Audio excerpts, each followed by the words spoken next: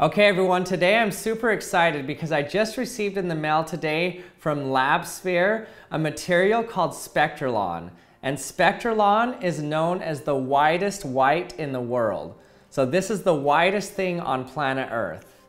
Now I have it in a bag here so you can't quite see it yet. I'm gonna put some gloves on and be taking it out and doing a few experiments on it and showing you just how white this actually is. I'm going to be comparing Spectralon, the whitest white, to the world's blackest black paint, Black 3.0. Now one of the experiments I wanna try on it is I wanna shine my burning laser on it. I'm gonna first shine my burning laser on something like Black 3.0 and then something that just has a regular color and show you how the laser will burn it. And then I'm going to shine it on my Spectralon here.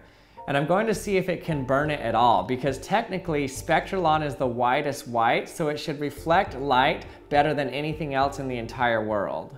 So let's do a test on it and see what actually happens when you shine a laser on Spectralon. Now in order to fully appreciate just how white this is, first we have to define a little bit what white actually means. Now I have here a white piece of paper. This piece of paper is white because it reflects all of the wavelengths of light off of its surface equally. That doesn't mean it reflects all of the light coming onto it. What it means is that it reflects everything equally. Whereas this red piece of paper, it reflects only the red light coming onto it.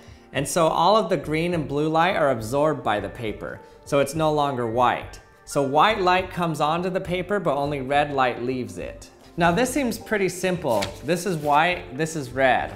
So then what color is this large metal sphere? Is it white? Well, one thing that's different from this big metal sphere here in this white paper is I can see my reflection in this ball but I can't see my reflection in this white paper. So it seems like we have two things that are reflecting light, but they don't look the same. So how do we define the difference between these two things? This white paper reflects all wavelengths of visible light in equal magnitude, but this metallic ball also reflects all wavelengths of visible light in equal magnitude but it looks different. So we have to introduce another definition of reflectance here. We can't just call both of these the same thing because they look different. So obviously the light reflecting off of both of these objects is different. And what's different about them is the angle that the light's reflecting. Now for this white paper here, the reflected light is called diffuse reflectance. Whereas for this metallic ball here, the reflected light is called specular reflection. And let me show you the difference between these two. Okay, now specular reflection like this metal ball here looks like this. When a light ray hits the surface, it gets reflected at the same angle that it comes in at. So it hits the surface and it gets reflected like this. And because it reflects at the same angle that it came in at, it preserves the image's location. And so basically if we had a tiny point source of light here, the reflection would show a tiny point source of light also, because there's only one angle that the light can go.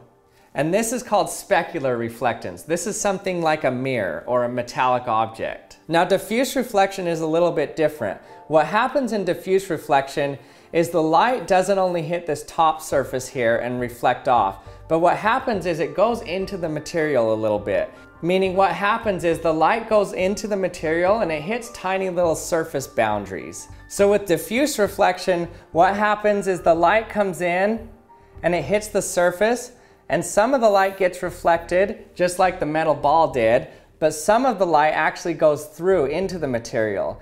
And that light that went through goes and it hits the next surface below it and this next boundary. So there's tiny little cells or different crystal structures within it. And so that light hits the next surface and then it gets reflected at the same angle that it came in at.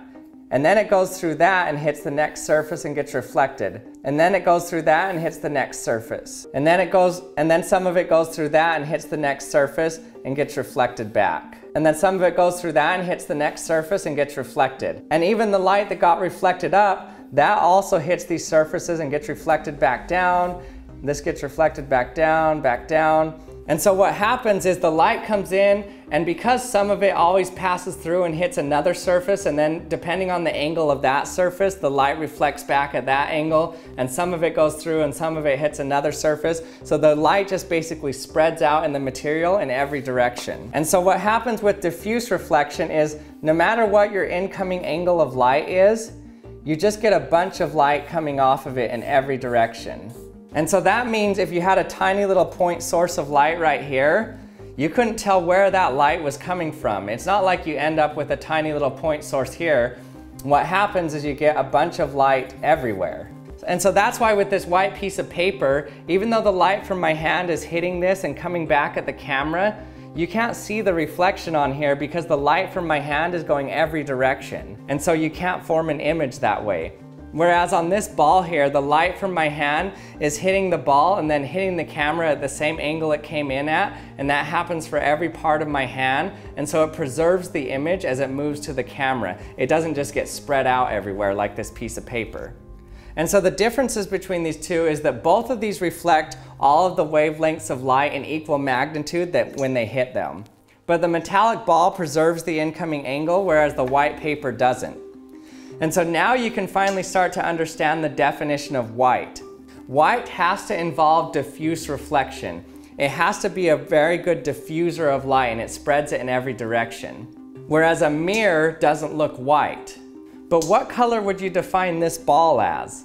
Well, most likely you'd say that this is gray. We know that the ball isn't white because this paper is white and they don't look the same. Well, the reason this looks gray because gray is actually just less white. And I can prove that by just looking at my shadow here on this paper. So look at the shadow on this paper. If you had to define this color, you'd call it gray. And what it means is it's less white. So we know that this ball here is just less white, meaning it's gray.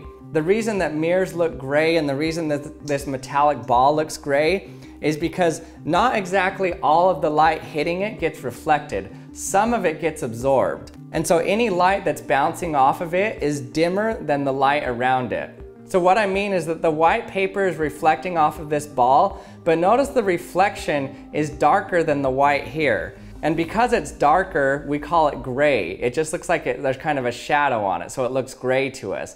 And that's because some of the light from the white paper is absorbed into the metal.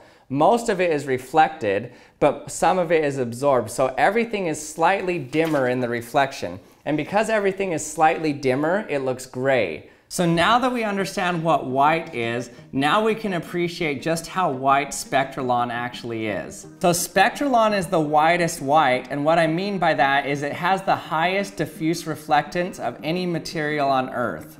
And because this is the whitest white, what it means is that no matter what I compare it to, any white that I compare it to in the room should be slightly dimmer looking than this white because this is reflecting a little bit more light. So Spectralon reflects over 99% of visible light hitting it. Okay, let's see what Spectralon looks like.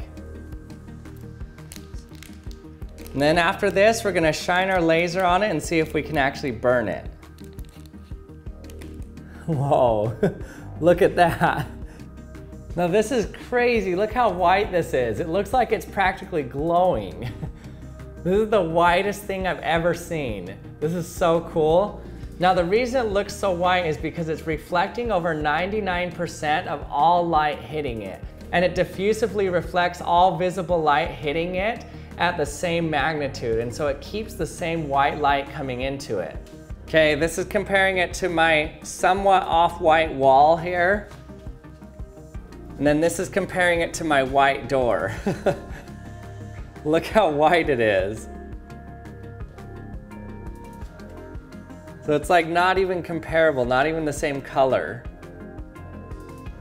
Now if I were to change the color of light, that means that it would also reflect that exact same color of light hitting it.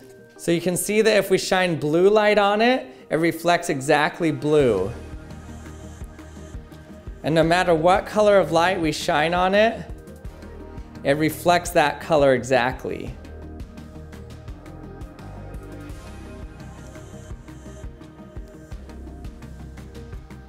So if we shine red light on it, it's perfectly red. And if we shine green light on it, then it's perfectly green. And blue light on it is perfectly blue. And so no matter what wavelength of light we shine on it, it reflects that wavelength of light perfectly. Okay, now we've seen what Spectralon looks like compared to regular materials. It looks really white. But let's compare it to some of the blackest stuff on Earth. Black 3.0. This is known as the world's blackest paint on the market. So this is just a normal lid that I painted with Black 3.0. Let's see what it looks like when I lay it right next to the Spectralon.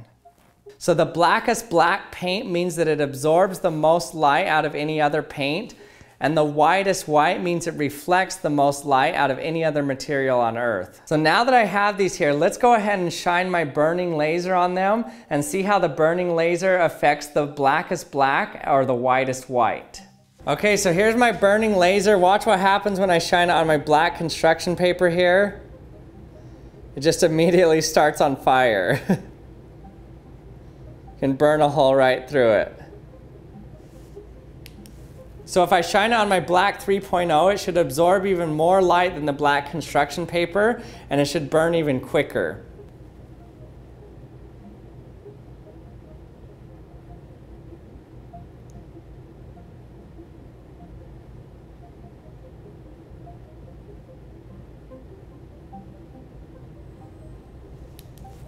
So now let's see what it does to the Spectralon. See if it actually even gets warm.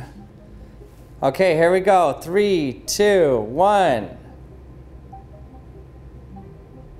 Nothing. Look how bright that is on there though. Look at it compared to the black. So look at it compared to our black 3.0. It's crazy the difference there. So let's see if it even feels warm after.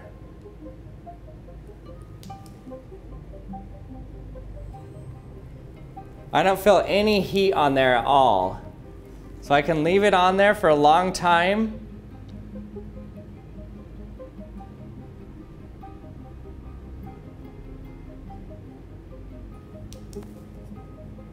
And it's not warm at all.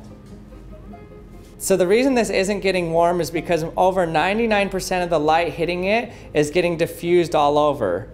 So this gives you a good idea of how diffusion works. So you can see this beam of light coming in here, and you can see when it hits this, then it suddenly lights up the entire room.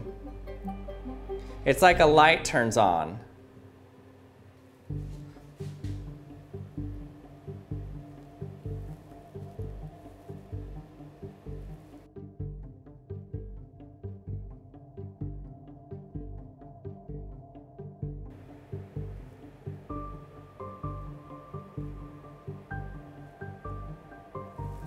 All right, everyone, thanks for watching the whitest white versus the blackest black. And remember, if you haven't subscribed to the Action Lab yet, hit the subscribe button and remember to hit the bell to be notified when my latest video's out.